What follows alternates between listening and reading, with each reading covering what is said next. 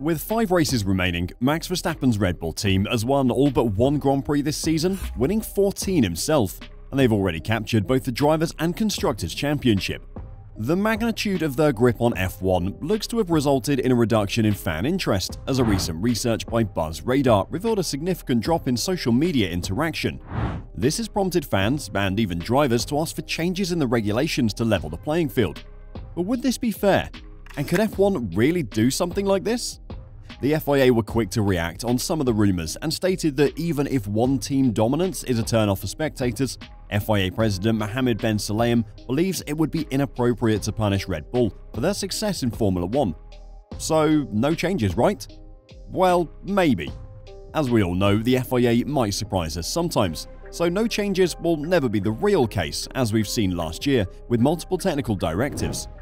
But how have we even come to this point? Could a falling fanbase really push the FIA into making changes? How bad could it be?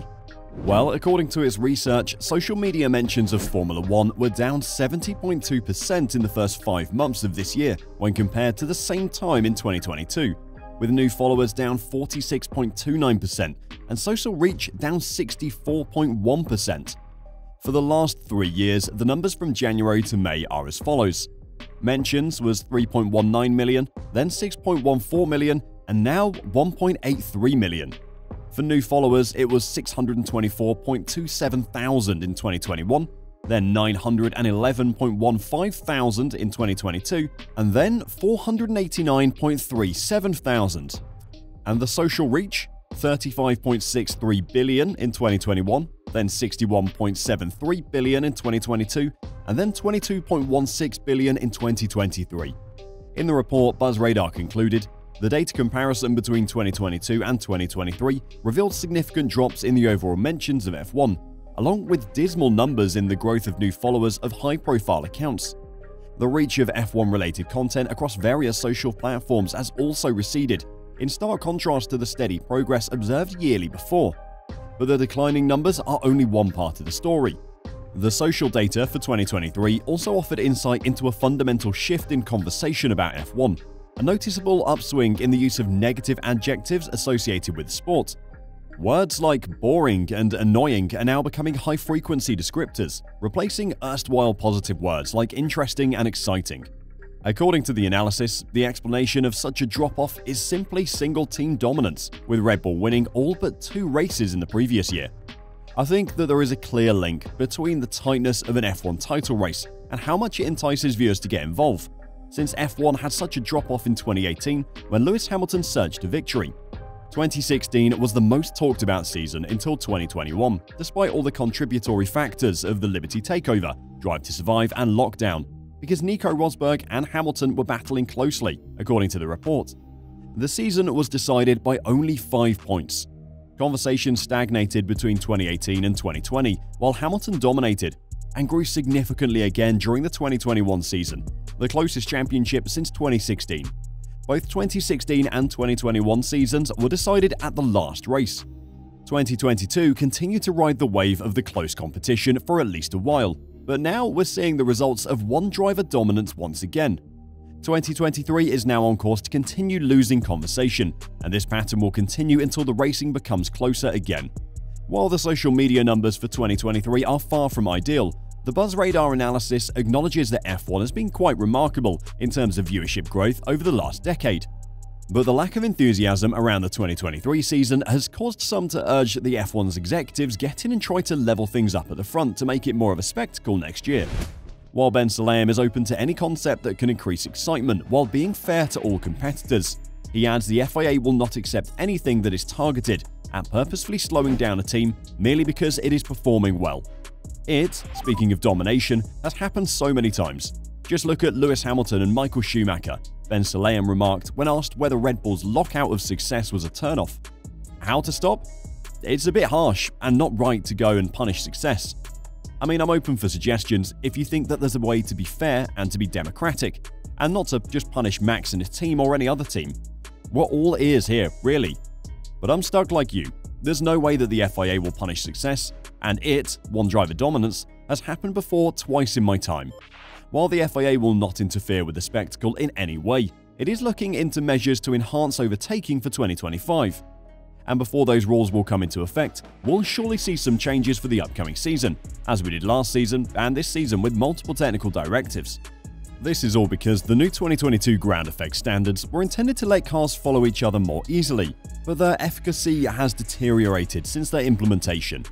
Thus, new rules needed to be implemented, otherwise the competition would be too far away from each other again. The FIA's Director of Single-Seater Issues, Nikolas Tombazis, recently stated that team efforts to boost performance had a detrimental influence on raceability, which is why car adjustments are being considered. If we take the 2021 F1 cars, based on being two lengths from the car in front, they were losing more than 50% of the aero load, he went on to say. With the 2022 single-seaters, there was only a 20% reduction in load, but now we're at about 35%. Surely there's been a worsening.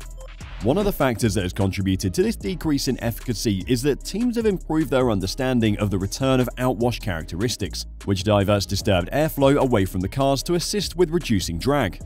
While this is helpful for individual performance, it makes it more difficult for other cars to follow closely. Ben Sulayem was aware that the teams were pushing in directions that compelled the FIA to respond, but he did not consider this to be a negative thing.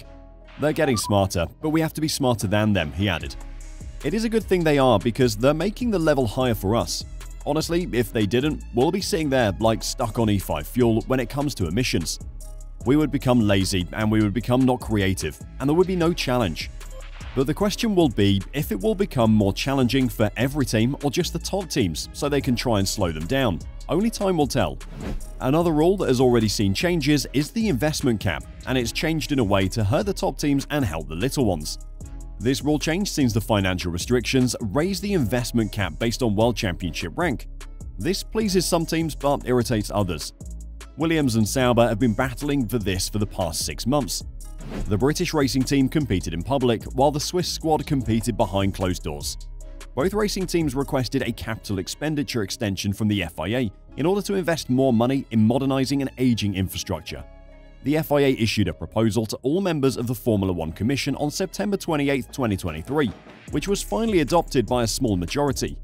From 2021 until the end of 2023, everyone's investment volume was increased from 36 to 45 million US dollars, the 9 million difference is due to inflation. There is additional money for everyone for the four-year period from 2021 to the end of 2024 based on their championship place. AlphaTauri, Williams, Alfa Sauber, and Haas are permitted to invest 65 million US dollars instead of 45 million in wind tunnels, simulators, test benches, manufacturing machinery, or software. It is 58 million for McLaren, Alpine, and Aston Martin, but only 51 million for Ferrari, Mercedes, and Red Bull. This equates to a surcharge of 7, 14, and 20 million US dollars. Not everyone is pleased with the increased freedom. Ferrari team boss Frederic Vasseur warns of the consequences. We've opened the door a few times now to adjust the cost cap rules. I think this is dangerous. We should remember 2019 when some teams were in financial trouble. Just because we're all better off now, we shouldn't be tempted to go back to the way things were. Williams team principal James Vowles countered, This adjustment was necessary to create fair competition. Williams has more catching up to do in terms of infrastructure than other teams. The backlog was created at a time when this team had no money to upgrade. If we are now benefiting a bit more than other teams from capex expansion, it has to do with the fact that our starting point in the factory is worse. It's only fair. The updated budget should make AlphaTauri delighted, but the new managing director, Peter Bayer, is suspicious partly because he was engaged in the formulation of the financial restrictions in his previous capacity as FIA Secretary General. The idea was to limit all teams to a limit that everyone can afford. In the case of capital investment, it's nice that we're allowed to spend more money now, but you have to have the money first. The Austrian criticizes AlphaTauri for developing a business strategy based on outdated statistics six months ago, and now facing greater constraints. Now I have to find a new sponsor or go to the owners and ask for more money. And that's not as fun as it sounds. Red Bull had previously determined at the start of the year on an austerity plan for the sister team, as well as a deeper link through the usage of greater synergies with the big brother, which could lessen the need for some updated systems. What are your thoughts on all the rule changes? Is it only right to let others spend more to keep up with the newest technology? And what about a possible rule change to take down Red Bull's dominance? Let us know your thoughts in the comments down below. And whilst you're down there, who do you think will win the Grand Prix this weekend?